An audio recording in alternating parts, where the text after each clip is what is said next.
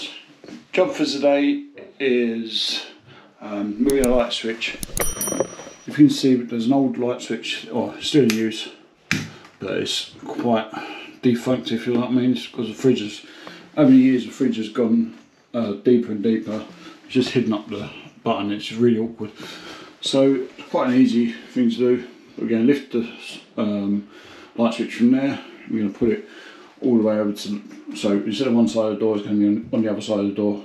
First thing you're going to do is look in the floorboards upstairs, see if we can find the switch line. I think I've located it, but we'll just put up a floorboard just to make sure.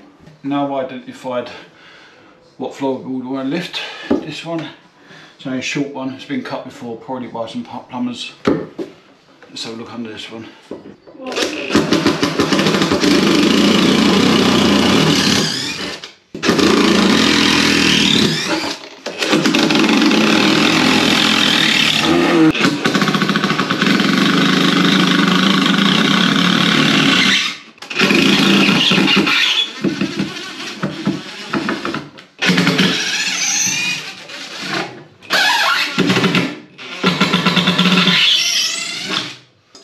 The screws out, just lift this up.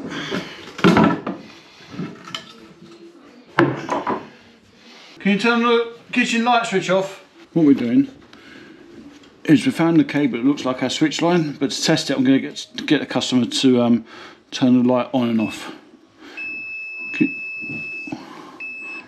Is it on or off? It's off now. Can I put it on? Put it off? On? Off. So we know now that is a switch line that goes down to our switch in the kitchen. It goes down just there into the switch. I don't know if you can see that. Maybe into some oval conduit. It goes straight down there. It's very important to note that what we've got here is one way light switch. Uh, there'll be different procedures if you want a two-way light switch. And as I say with everything, don't attempt this unless you're electrically competent. It could cost you a lot more in long run rather than getting a proper electrician out. Next thing we do is we check the height switch with this light. We want to get the same height, one three three there. And measure up exactly halfway. So that's 29, so we want it uh, 14.5. 14.5 is there and that's the centre of our box.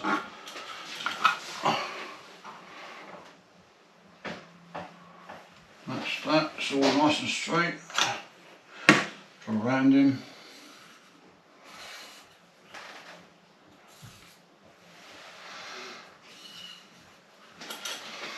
That's going to be our box for our light switch. Now what we have to do, we have to get the feed cable in or the chasing route it's very important when you're putting cables in that you make it in the cable zone. So if that's going to be our switch we can only go straight up straight down or across. There are other zones but if you're electrically competent you should know them anyway. Can take it all the way up to the ceiling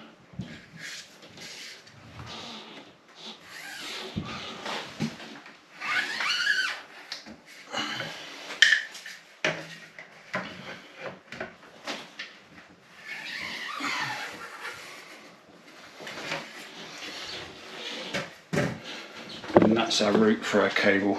To use SDS on this one. What I do, if I've got anything like this, I'm cutting out, to save the damage, what I use first is, got my multi-tool, it's got a blunt end you can see, it's got no teeth on it at all.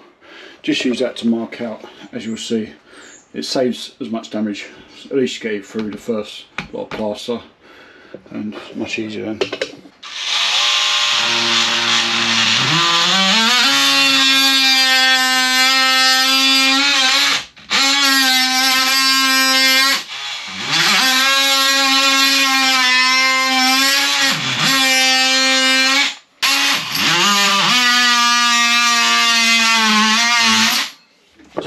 First cut in. A little bit of damage, but nowhere near as much as if you went straight in with the SDS.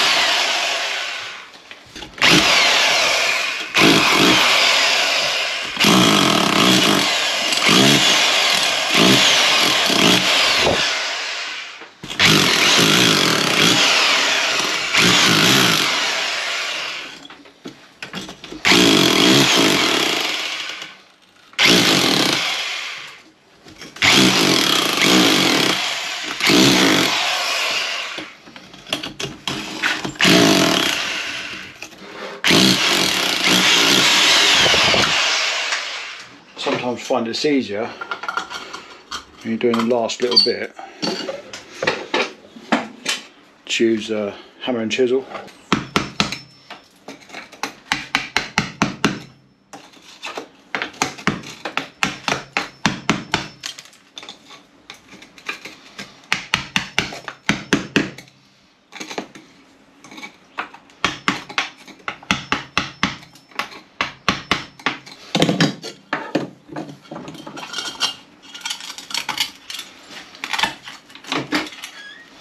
Always check that it's in properly, get your spirit level, run it over the top of it.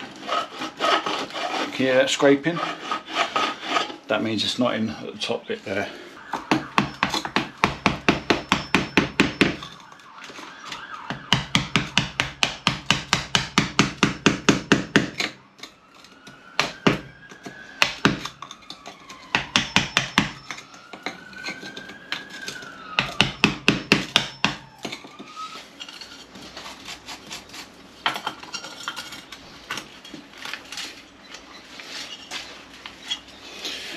try it again with spirit level. You can see it's all underneath the outer level. All you need to do is make sure that it's level with the um, lugs, low position, and you've got enough movement there to make it a nice straight box. Perfect. You don't, you don't have to get this bit dead straight, what you have to do, put it on the, in the middle of the lugs and just move it up uh, until it's straight. And this box has got an adjustable lug, so you can move it up and down a little bit, got a little bit of play. Final bit to do is drill into the under the floorboards.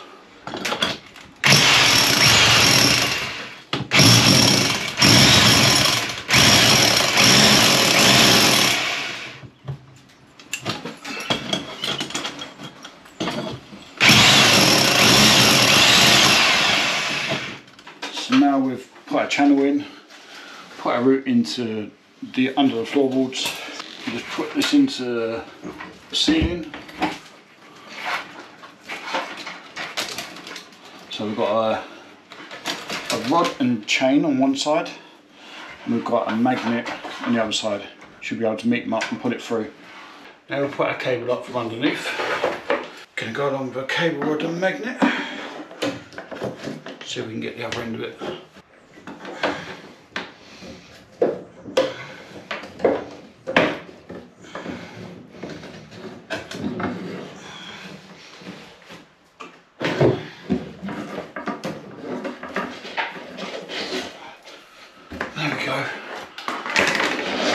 chain so we know the cable is on the end of that. It's just a case of pulling it through. There we go. There's our cable. What we do is that we mark our back box, we know it's straight already.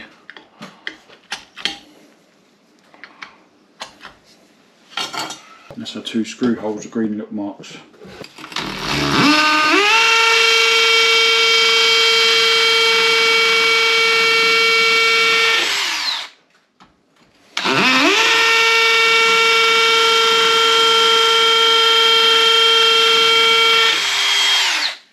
two Rawl plugs in. Two Rawl plugs in. You want to take this knockout out, so like so. Put in a grommet, and you're not going to damage the cable when it goes through. See that?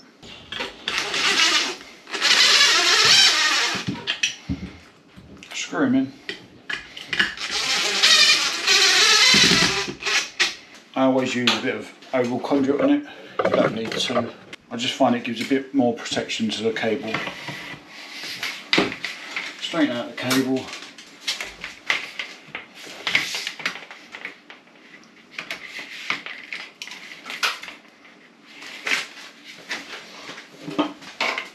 Might length our conduit. Slightly lipping into the ceiling. Gives a little bit more protection. Just a little. Doesn't have to be pretty.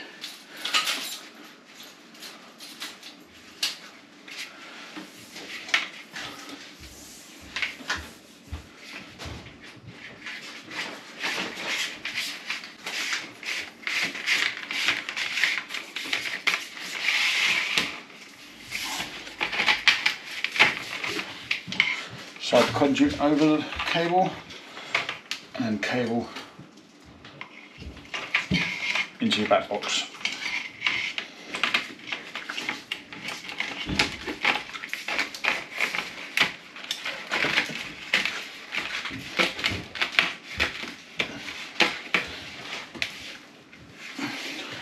Now hold that in there perfect. Should have something look, looking like that. Cable needs to terminate and conduit going all way into the ceiling. Thing to do really is to tidy up because we've got a bit of a mess as you can see. Tidy up, get rid of the dust and we're going to need to do some plastering on that. Right so we've got our conduit in, cable ready to go, ready to do the filler. Just going to show you mixing up the filler, nice clean bucket, a of filler.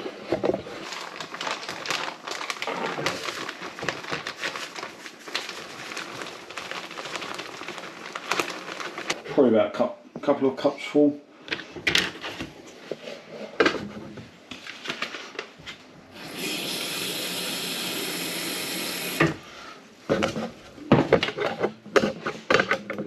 Use a little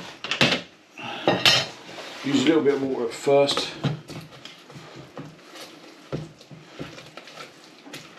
You can always add a bit more it's just easier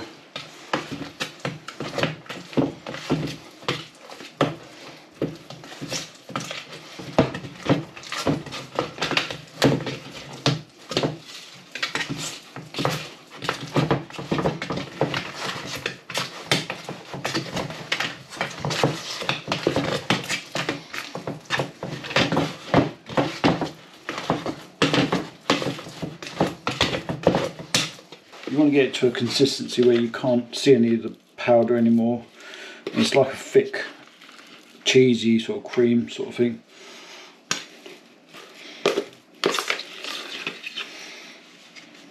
There you go, that's, that's about what thickness you want. Perfect, like a, like a dough sort of thing if you know what I mean. We start at the bottom, keep the bucket underneath. First coat what you're doing is you're packing out the hole.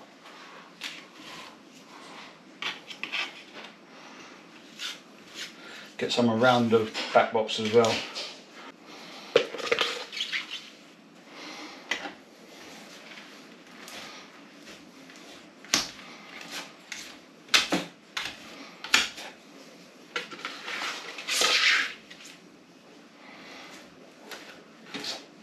packing it into the hole as you can see.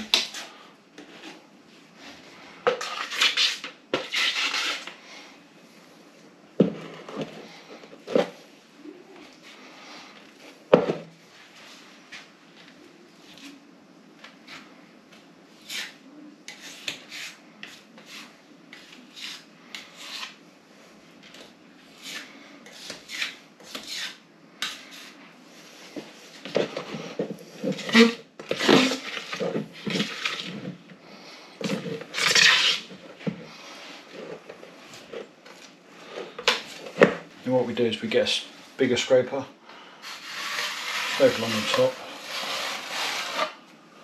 makes a nice little line.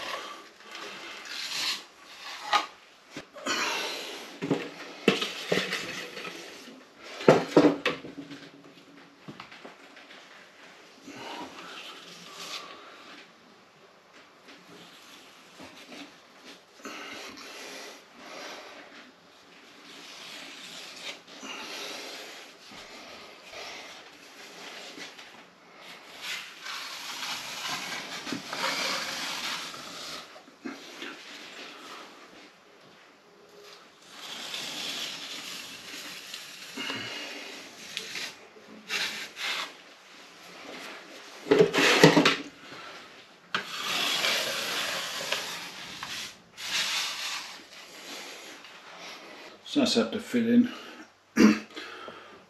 all nicely up to the top. Yeah, probably going to need a little sand, but not much. Uh, don't think it'll need another fill. Depends if it sucks it in. Sometimes with plasters, it sucks it in a bit, so you have a little dip. You might need a second fill on that. Yeah, it looks alright. Once it dries out and you uh, paint over it, you won't even know it's there. So, stripping back the cables.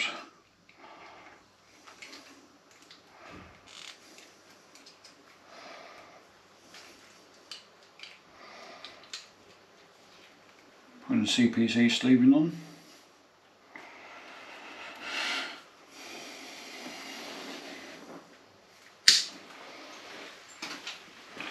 Because it's single conducts into the terminals and they're quite small, I'm going to bend it over so you get good contact. As blue as a switch line, need to mark up with brown, brown um, tape like so. So both switch lines, that's why I marked that up with a brown tape. You can see there, brown tape.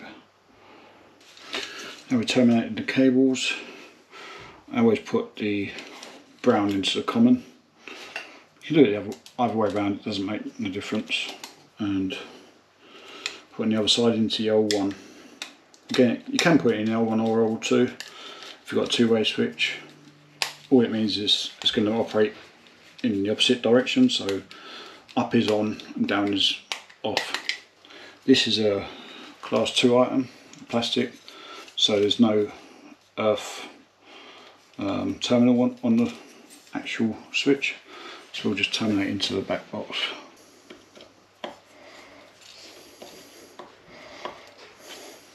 Tucking the cables out of the way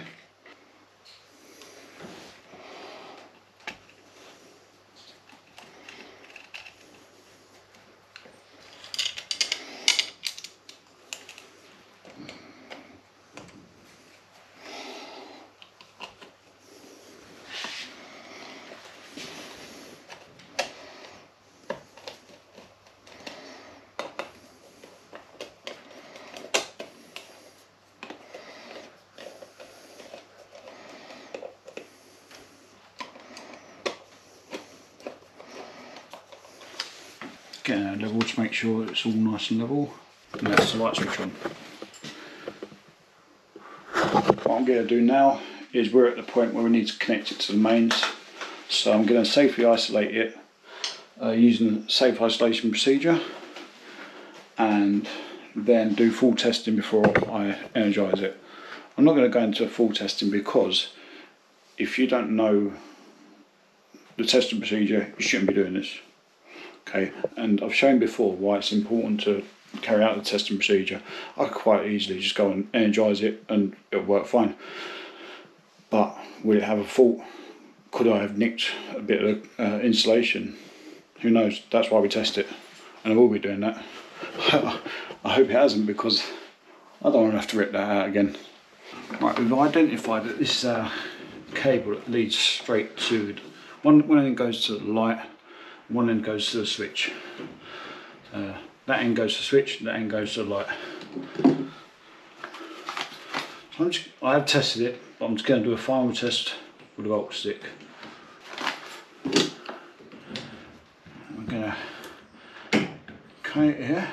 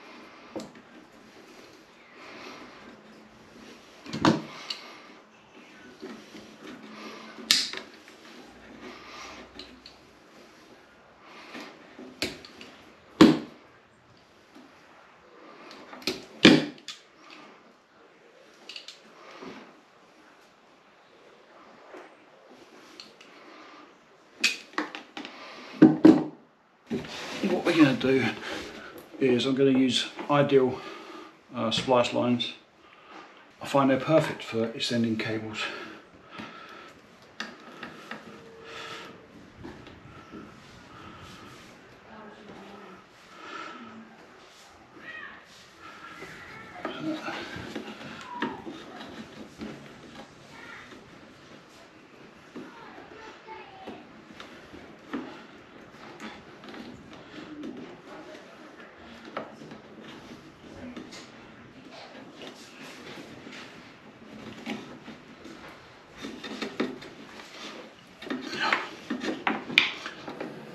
Tug test on them all and they're nice and solid into the maintenance free box now.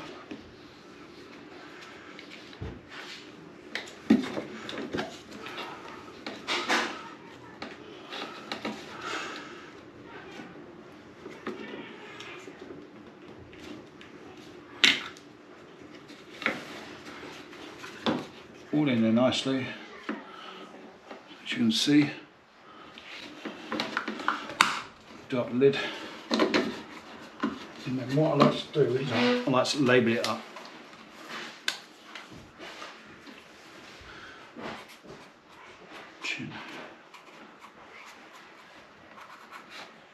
Light switch.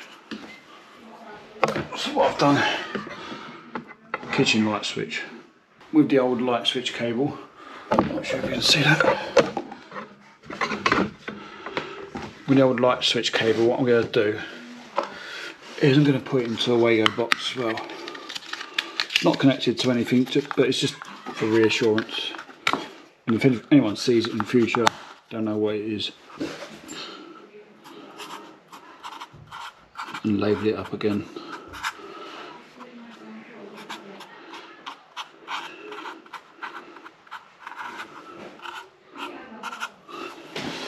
Disused kitchen light switch.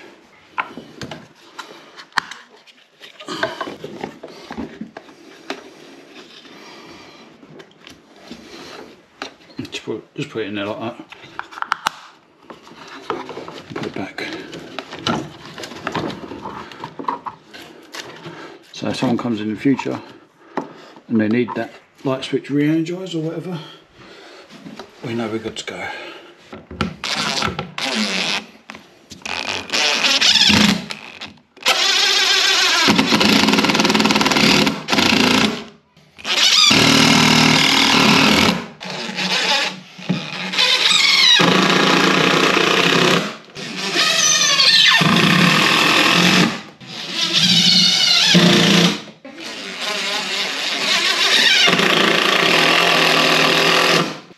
Finally finished testing, all tested fine. Uh, tests that we completed was um, R1, R2, insulation resistance test, and we've done a ZS test all the way to the end of the line. If you don't know what te them tests are, then it's a lot easier. Get an electrician in. It's a relatively simple job for somebody who knows what they're doing. Um, let's have a look. There we go. One working light switch. All tested and good. Um, what we're going to do, the cables are still in the wall up here, running down to the light switch. The customer will be decorating this at some, all this at some point, and you can see we just started to decorate a little bit. But I've assured them that that's, un, that's not energised, so they can take that off, fit it in, um, there's no need to pull the cables out the wall, you can leave them in there, they're perfectly fine. If you like this video, we do have a lot more how-to guides in our playlist section, how to put in extra sockets, uh, things like that. Have a look there, see if there's anything that you like. If you're not electrically competent, then don't try it. There's so many things that could go wrong. The worst thing being you could kill yourself or others. Um, don't forget to like, comment, share and prescribe.